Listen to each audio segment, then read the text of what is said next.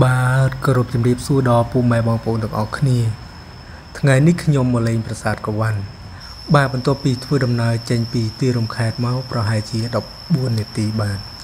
កាត់តាមស្ពានអង្គរនៅចម្ងាយពីស្ពានអង្គរនឹងប្រហែលជា3គីឡូម៉ែត្រជាងបាទនៅខាងស្ដាំដៃបាទប្រាសាទក្រវ៉ាន់នឹងគឺខ្ញុំខានមកលេងប្រហែលជា3ឆ្នាំជាងហើយបាទតាំងពីឆ្នាំ2020មក បាទប្រាសាទក្រវ៉ាន់មានទីតាំងស្ថិតនៅ ក្នុងភូមិក្រវ៉ាន់សង្កាត់អង្គរធំ ក្រុងសៀមរាបខេត្តសៀមរាប ខាងកើតប្រាសាទអង្គរវត្តនិង ខាងត្បូងប្រាសាទបន្ទាយក្តីប្រាសាទនេះត្រូវបានកសាងនៅក្នុងឆ្នាំ921នៃគ្រិស្តសករាជក្នុងរជ្ជកាលព្រះបាទហោសាវរ្ម័នទី1ក្នុងឆ្នាំ910ដល់ឆ្នាំ923ដើម្បីឧទ្ទិសថ្វាយដល់ ព្រះវិស្ណុក្នុងព្រហ្មញ្ញសាសនា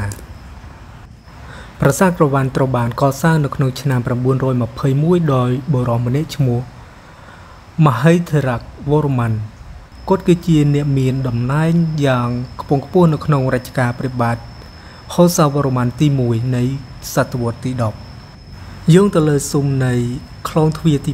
2ទី3និងទី5សិលាចារឹកបានសរសេរថា មហេធរៈវរ្ម័នបានថ្វាយនៅទីសក្ការៈមួយនៅចំកណ្ដាលតួប៉មទី3ទៅដល់អាទិទេពនៃសាសនាហិណ្ឌូដែលប្រាសាទនេះតំណាងឲ្យទីឋានរបស់ព្រះវិស្ណុរីឯតួប៉មទី5ឧទ្ទិសដល់ព្រះម៉ែទាំង5ស្រីប្រហែលជាព្រះនាងលក្ស្មីមហេសីរបស់ព្រះវិស្ណុដែលត្រូវបានគេកសាងជារូបចម្លាក់ដាក់នៅលើបល្ល័ង្កមួយ នៅក្នុងតួប៉មនោះ ប៉ុន្តែបច្ចុប្បន្នមិនឃើញមាននៅក្នុងនោះទៀតទេ ក្រៅពីបល្ល័ង្កយើងឃើញមានចម្លាក់របស់ព្រះម៉ែលក្ស្មីនៅលើផ្ទៃជញ្ជាំងផ្នែកខាងក្នុងនៃតួប៉មនោះផងដែរយោងតាមសិលាចារឹកបានឲ្យដឹងទៀតថាអ្នកដែលមកកសាងប្រាសាទគឺជាប្រជារាស្ត្រដែលរស់នៅជុំវិញប្រាសាទនេះ ដែលត្រូវបានរៀបរាប់ឈ្មោះនៅក្នុងសិលាចារឹក ក្នុងអំឡុងពេលនៃការគ្រប់គ្រងរបស់ព្រះបាទហោសាវរ្ម័ននៅក្នុងរាជធានីនៃតំបន់អង្គរគេឃើញមានរាជធានីថ្មីមួយទៀតដែលកសាងដោយឪពុកមារបស់ព្រះអង្គព្រះនាមជ័យវរ្ម័នទី4ការកសាងប្រាសាទក្រវ៉ាន់និងប្រាសាទធំនៅកោះកេរត្រូវបានធ្វើក្នុងពេលតែមួយ ដែលប្រាសាទក្រវ៉ាន់មានឈ្មោះថាត្រៃលោកនាថរីឯប្រាសាទកោះកេរមានឈ្មោះថា ត្រីភុកមនេស្វរៈប្រាសាទកវ៉ាន់ត្រូវបានកសាងអំពីឥដ្ឋសង់នៅលើខឿនមួយជាន់មានតួប៉ម5ឈរតម្រៀបជួរគ្នាតួប៉មកណ្ដាលមានទំហំធំនិងខ្ពស់ជាងគេតួប៉មទាំង5បែរមុខទៅទិសខាងកើតដែលមានទ្វារមួយបើកចំហ និងទ្វារ3ទៀតជាទ្វារបញ្ឆោតសសរនិងភ្នែកធ្វើអំពីថ្មភក់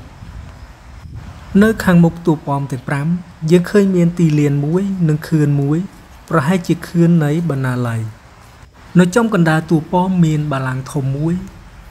ប៉ុន្តែកាលពីមុនបាឡាំងនោះប្រហែលជា មានតម្កល់រូបបដិមាព្រះវិស្ណុទាំងចម្លាក់ភ្នែកខាងកើតស្ថិតនៅចំពីមុខខ្លងទ្វារមានចម្លាក់រូបព្រះវិស្ណុដៃ8និងរូបតូចៗដែលជាបំណែកអង្កាយរបស់ព្រះអង្គ ចែកជា7ជួរនៅផ្នែកខាងលើមានលំអរូបសត្វក្រពើមួយ ក្រពើនោះមានជប់តាក់ទងទៅនឹងដួងប្រលើងមេដានៃឋានទាំង3រូបទាំងឡាយដែលឈប់ពិតជំវិញព្រះវិស្ណុគឺជាដួងប្រលើងផុសចេញពីបំណែកអង្កាយព្រះវិស្ណុដែលហៅថាព្រះមាយាតំណាងឲ្យសភាវៈបរិសុទ្ធយាងមកបង្កើតអតិទេពក្នុងលោក ទាំង3ឋានរីឯទេពទាំង9អង្គផ្សេងទៀតគឺតំណាងឲ្យផ្កាយពីគ្រោះទាំង9អង្គព្រះវិស្ណុមានអង្គកាយជាច្រើនដែលគេហៅថាព្រះនរាយណ៍ដើម្បីបំពេញតួនាទីកំចាត់ពួកសភាវៈអាក្រក់ទាំងចម្លាក់ភ្នែកខាងត្បូងស្ថិតនៅឆ្វេងដៃនៃខ្លងទ្វារមានចម្លាក់ព្រះវិស្ណុក្នុងទម្រង់ជាមនុស្សទឿដៃ4កាន់កេតនភ័ណ្ឌផ្សេងៗគ្នាតំណាងឲ្យធាតុ សំខាន់ទាំង4គឺ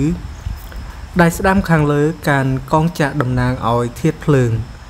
ដៃស្ដាំខាងក្រោមកាន់ដុំមូលឬផែនដីតំណាងឲ្យធាតុដីរីឯដៃឆ្វេងខាងលើកាន់ខ្យងសាំងតំណាងឲ្យធាតុទឹក និងដៃឆ្វេងខាងក្រោមកាន់ដំបងតំណាងឲ្យធាតុខ្យល់ចំណែកព្រះបាទទាម្ខាងរបស់ព្រះអង្គឈរលើបល្ល័ង្កតំណាងឲ្យផ្ទៃផែនដីឬចក្រវាឡ ហើយនៅក្បែរនោះមានទេពធីតាមួយអង្គលើដៃគោរពវន្តានិងម្ខាងទៀតឈាន ដាក់លើទម្រផ្កាឈូកទ្រដោយទេពធីតាមួយអង្គទៀតមានស្នាមអង្កាញចំនួន3ឆ្នូតតំណាងឲ្យមហាសមុទ្រចម្លាក់នេះពិពណ៌នាអំពីរឿងទេវកថាអំពីអវតារទី5របស់ព្រះវិស្ណុក្នុងទម្រង់ជាព្រាមទឿឈានជើង3ជំហានដើម្បីសុំទឹកដីពី ស្ដេចយាកឈ្មោះពាលីទាំងចម្លាក់ផ្នែកខាងជើងស្ថិតនៅខាងស្ដាំដៃនៃខ្លងទ្វារមានរូបព្រះវិស្ណុដៃ4គង់លើបាក់សីគ្រុឌដែលជាយានជំនិះរបស់ព្រះអង្គនៅត្រង់វគ្គមួយនៃសាច់រឿងព្រះវិស្ណុលោកបានដំណើរថា នៅពេលស្ដេចយាកឈ្មោះពាលីមានចិត្តប្រកបដោយគុណធម៌ចូលចិត្តដាក់ទានទ្រព្យចំពោះស្មោមគ្រប់គ្រប់គ្នា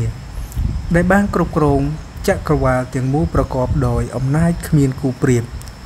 ស្ដេចយាកក្រុងពាលីបានគោរពប្រតិបត្តិមកលើបារមីព្រះវិស្ណុយ៉ាងខ្លាំងហើយបានបដិសេធមិនទទួលយកអំណាចអតិទេពណាផ្សេងក្រៅពីជំនឿនិកាយព្រះវិស្ណុទង្វើបែបនេះហើយបាននាំឲ្យព្រះឥន្ទមានការខឹងសម្បា ហើយបានរៀបផែនការជាមួយក្រុមអតិទេពផ្សេងផ្សេងទៀតក្នុងនោះមានព្រះអាទិត្យព្រះច័ន្ទព្រះគបេនិងព្រះពាយជាដើមដើម្បីសម្លាប់កូនប្រុសរបស់ស្ដេចពាលីក្រោយពីដឹងថាកូនប្រុសរបស់ខ្លួនត្រូវបានសម្លាប់ក្រោមស្នាដៃរបស់ព្រះឥន្ទនិងបពុ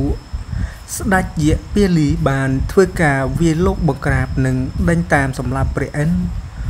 រួមជាមួយនឹងក្រុមបរិវារដើម្បីជាការសងសឹក ទីបំផុតព្រះអង្គក៏បានគ្រប់គ្រង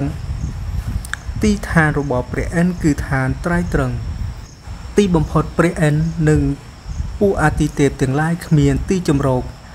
ហើយរត់ពួនគ្រប់ទីកន្លែងរហូតដល់ឋានព្រះព្រំ ពួកគេបានគង់នៅទីនោះមួយរយៈដើម្បីស្វែងរកនៅសេចក្តីអន្តរាគម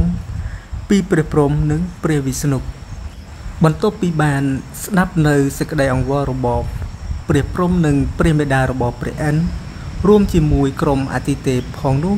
ព្រះវិស្ណុបានយកព្រមជួយរំដោះឋាន ទាំង3ដែលគ្រប់គ្រងដោយស្ដេចជាពាលីប៉ុន្តែដោយសារតែពាលីជាសាវកដ៏ស្មោះត្រង់និងប្រកបដោយមេត្តាធម៌ព្រះវិស្ណុមិនអាចសម្លាប់ពាលីបានឡើយដូច្នេះព្រះអង្គបានចុះមកចាប់កំណើតនៅក្នុងផ្ទៃរបប មេដាព្រះអិនក្នុងទម្រង់ជាព្រាមទឿឈ្មោះវមណៈបាទអរគុណច្រើនបងប្អូនខ្ញុំសូមឆ្លើយតែត្រឹមហ្នឹងតេតងទៅនឹងរឿងព្រាមទឿវមណៈជានជើងបីជំហានបច្ចេញស្ដេចក្រុងពាលីដោយសារតែសាច់រឿងហ្នឹងគឺវែងពេកខ្ញុំសូមសង្ខេបត្រួសត្រួសតែប៉ុណ្ណឹងបាទកុំភ្លេចជួយតាមដានទស្សនាវីដេអូខ្ញុំឲ្យបានចប់ចប់ ហើយខ្ញុំនឹងខិតខំធ្វើវីដេអូនៅតាមប្រាសាទក្នុងខេត្តសៀមរាបហើយខ្ញុំនឹងអាប់ឡូតជាបន្តបន្ទាប់ពីប្រាសាទមួយទៅប្រាសាទមួយហើយខ្ញុំនឹងនិយាយពីប្រវត្តិទាក់ទងទៅនឹងប្រាសាទត្រួសត្រាសតាមដែលខ្ញុំដឹងបាទអរគុណច្រើនបាយបាយ